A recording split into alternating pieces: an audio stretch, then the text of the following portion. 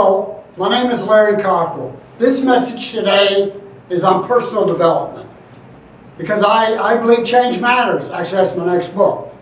But I want to share with you three key pieces that have brought me through life, through the troubled years, through the runaway years, through the drug addiction, through the bankruptcy, divorces, traveling the country for 20 years for a company, hiring and training people and, and running branches and, and working with a couple of great companies here in Wisconsin, Harley Davidson, Snap-on Tools, Stoughton Trailers, uh, fighting cancer, writing books, discovering the true love of my life and my passion. There's three pieces that have helped me along this 55-year journey.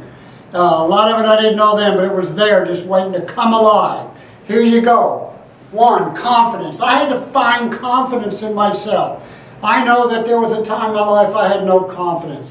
When it came time to stand in front of the class and in, the, in middle school and high school, I would run away. I would skip school. I would not show up. When it come time to face problems in my life, I would run. I would not fight them. I would not stand up. I had no confidence in myself because I didn't believe in myself. See, you have to believe in yourself. You have to believe you're worthy and that you're a person of value and you're, you're God's gift to the world. And, and even if it's just one person.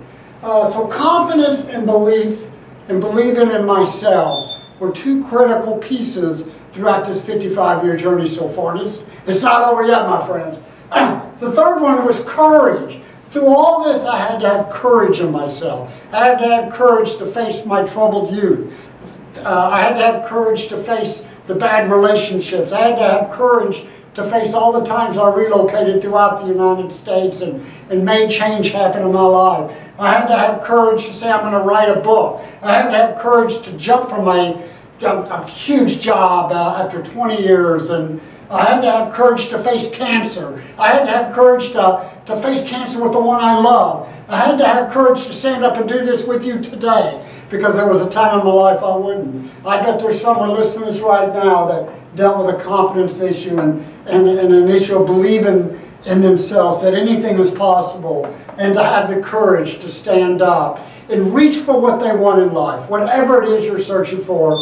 Match your skills. If you don't have the skills, every, there's whatever you're looking for to grow in, it's been written or it's been recorded. Go get it, learn and grow. Have confidence, believe in yourself, and have the courage to step up and step out and reach for your dreams, whatever they may be.